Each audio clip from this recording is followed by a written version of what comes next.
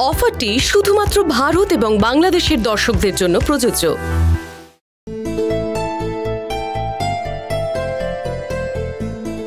আয় শুভ। আঙ্কেল?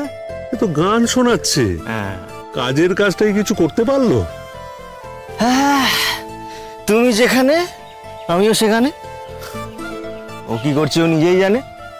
কি ভালো গাইলি অঙ্কুর সিরিয়াসলি মানে সেই ছোটবেলার থেকে আমি তোর গানের ফ্যান তোর মনে আছে? সেই সেই স্কুলে যখন আমার মন খারাপ করতো, তুই গান করে আমার মন ভালো করে দিতি? আজকেও না ঠিক তাই করলি। তোকে মিথ্যে কথা বলব না, অঙ্কুর। আজকে আমার মনটা না একদম ভালো ছিল না রে। কিন্তু তোর গান শোনার পর এখন খুব ভালো লাগছে। আর হ্যাঁ আমার শুধু তোর গান শুনতেই নয় তোর সাথে গান গাইতেও খুব ভালো লাগে। বেশ তো। তাহলে বৃন্দা তো যখনই মন খারাপ হবে তুই আমাকে একটা ফোন কল করে দিবি। আমি যেখানেই থাকি না কেন তোকে ঠিক গান শোন থ্যাংক ইউ মানে কথায় কথায় এত থ্যাংক ইউ কিসে? তুই বুঝবি না অঙ্কুর। দেখ আমাদের জীবনে না অনেক চড়াই উতরাই পেরোতে হয় আমাদেরকে। আজকে বিভিন্ন কারণে আমার আমার খুব ডিপ্রেসড লাগছিল রে।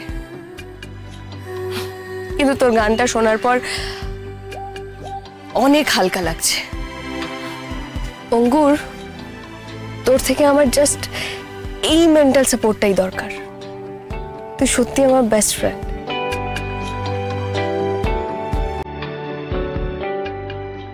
আবার ফ্রেন্ডশিপের কথা বলে দিল? এবার আমি কি করে চিঠিটা ওকে দিই? অঙ্কুর বলছি এবার দেরি হয়ে যাচ্ছে আমাদের বেরোতে হবে। হায়। হ্যাঁ চল। এ কি রে? অঙ্কুর তো ফিরে আসছে। তাহলে কি অঙ্কুর সব বলে দিয়েছে? কিছুই তো বোঝা যাচ্ছে না। বৃন্দা বৃন্দা তুই স্কুটি এনেছিস? না রে স্কুটিটা আনিনি। স্কুটিটা একটু গন্ডগোল করেছে। আমি বাসেই যাব।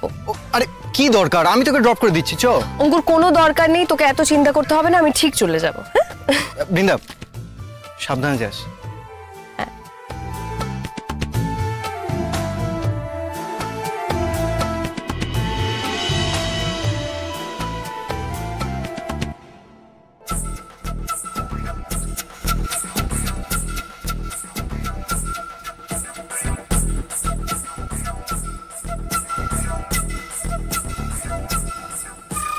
কিরে বৃন্দার রিয়াকশন দেখে তো মনে হচ্ছে তুই ওকে কিছু বলতে পারিস। চিঠিটা দিয়েছিস তো? না বাবা আজ আর হলো না। বলেছিলাম না কাকু ওর দ্বারা কিসন কি করব?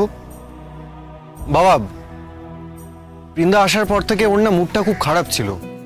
আর এই অবস্থায় কাউকে কি লাভ লেটার দেওয়া সম্ভব?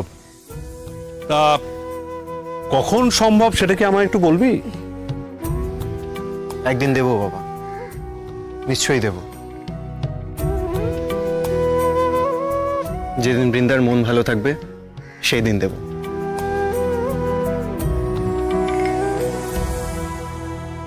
চালু? চালু, মনে আছে?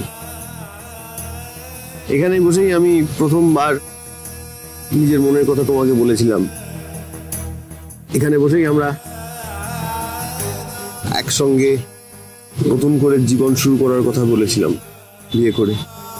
আর ভাগ্যের পরিহাস দেখো এখানে বসেই আমাদেরকে আজ জীবন শেষ করার কথা ভাবতে হচ্ছে। আমি জানি না আমরা আবারও কোনো ভুল করছি কিনা। আমাদের কাছে আর কোনো অপশন নেই। না শালুক আমাদের কাছে কোনো অপশন নেই। আমার মা বীরেশ আঙ্কেলের মেয়ে শায়রির সাথে আমার বিয়ে ঠিক করেছে। আর আমাদের ছোটবেলা থেকেই এটা ওরা ডিসাইড করে নিয়েছিল।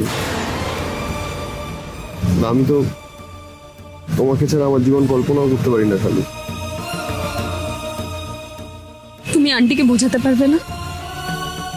আমার মা বোঝানো কনভিন্স করার ঊর্ধ্বে ওটাই করা যায় না। আমার মা কোনো ডিসিশন নিলে সেটা কেউ বদলাতে পারে না। আমি জানি তোমার দিদি খুবই চেষ্টা করছে যাতে আমাদের বিয়েটা হয়, কিন্তু আমি এটাও জানি যে আমার মা কিছুতেই তার ডিসিশন বদলাবে না। এই বিয়ে হতেই দেবে না। আমাদের বাড়িতে আমার মায়ের ডিসিশনের উপর কেউ কথাও বলে না। বাধ্য হয়ে আমাকে এই সিদ্ধান্ত নিতে হচ্ছে।